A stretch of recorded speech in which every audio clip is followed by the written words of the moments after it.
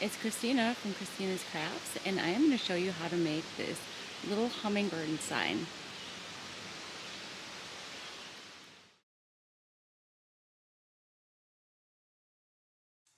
Alright, so tonight I am doing a really simple one. I love it, these um, wood cutouts from Dollar Tree. You can make so many cute signs with them.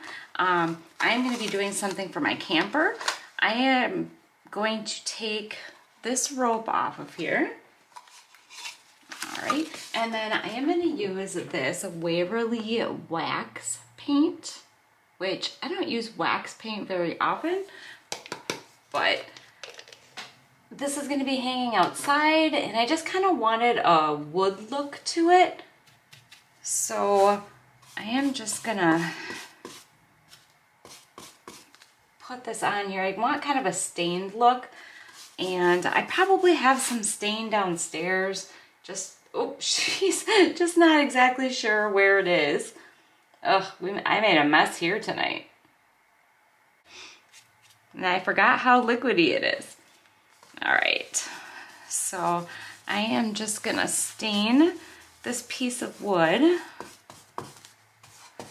with this wax paint. And I think I have a paper towel here. I was going to, if I get too much on there, wipe it off because I want more of like the wood grain to show through. So let me get this cleaned up and then I'm gonna get this sign painted. All right, I have the, um, the wax paint all on this one side here and I'm just gonna take this paper towel that I have and I'm just gonna wipe it down and it's gonna make it look like it was just stain that I used.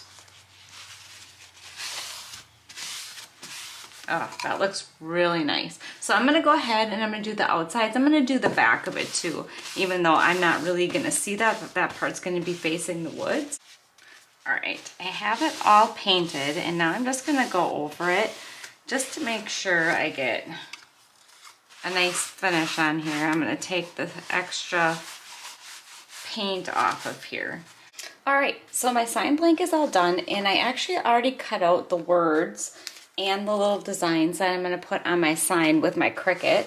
Um, that is for a totally different tutorial. Um, I do not, I don't think I have any of those up. Maybe partially one from a Christmas one that I did, but there are plenty of tutorials out there. Oh, so this um, clear transparent paper I got from Dollar Tree and I heard that this is actually good for transferring vinyl. So I am going to try it out. I have never used it before. I just opened this up. So I am just going to cut out a chunk here about as big as my my vinyl. All right, so let's see if we can get this off of here.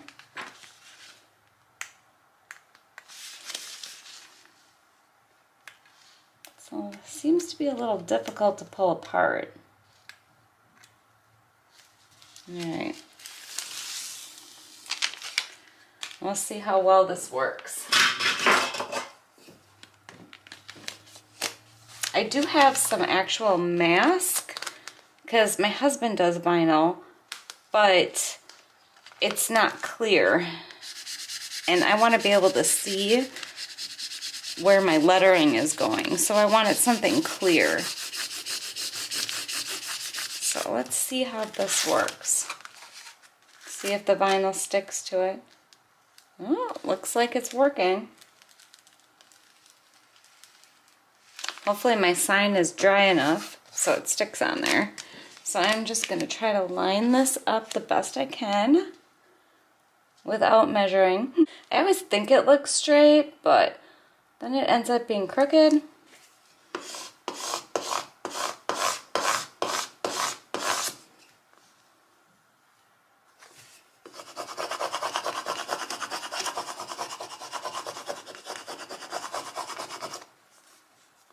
Well, it worked good for transferring the vinyl, but my vinyl does not seem to be sticking to my board, maybe because I used the wax. So we're just going to keep trying to press it on here and get it to stick. Okay, so I'm having issues getting the vinyl to stick, but I'm pretty sure it's because of the paint that I used. So I'm just gonna push this down real hard and I'm actually gonna try from the top. And it does look a little crooked, but part of it is stuck on there already, so it's a little too late.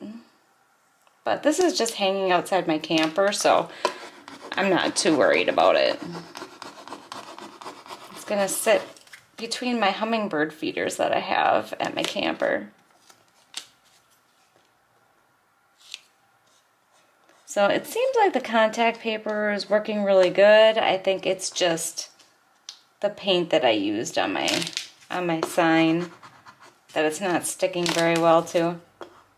All right, so it's taking me a little bit, but it's going pretty slow. I had to push down really hard to get that vinyl to stick. And still pulling up some of the letters as I go. But like I said, I don't think it's the contact paper. I'm pretty sure it's the wax paint that I used. All right, I was finally able to get it all off. Um, I think I have it on there a little bit crooked, but I'm not going to worry too much about that. So I have the Hummingbird Tavern on there, and then I have my flower, which I'm going to stick here, and then my little hummingbird up here. So I am just going to actually, I'm going to reuse this contact paper. I'm just going to cut a little section off. And hopefully this sticks a little bit better. So I'm just going to attach my little bird to the contact paper, hopefully.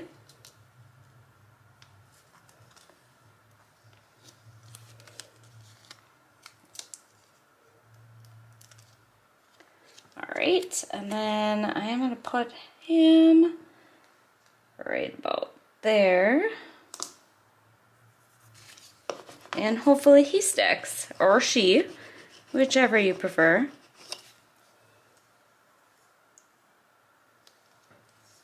Well, black vinyl seeming to stick a little bit better than the silver that I had. Like I said, I think part of the problem I'm having here is the finish that I have on my board. And that's why the vinyl's not sticking very good.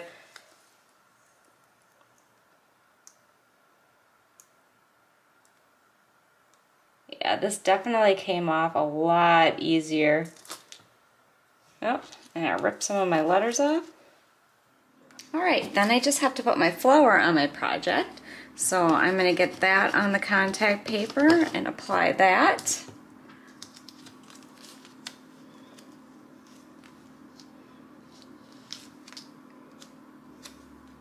And probably gonna stick that right about there.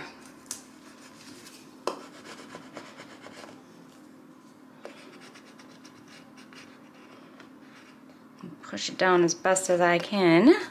So hopefully it comes off in one big swipe. Yeah.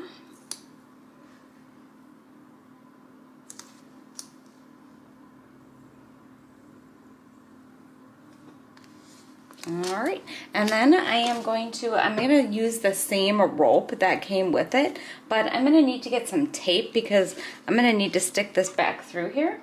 So I'm just going to tape this end, I'm to try to pull it really tight so that I can get the rope back through the sign.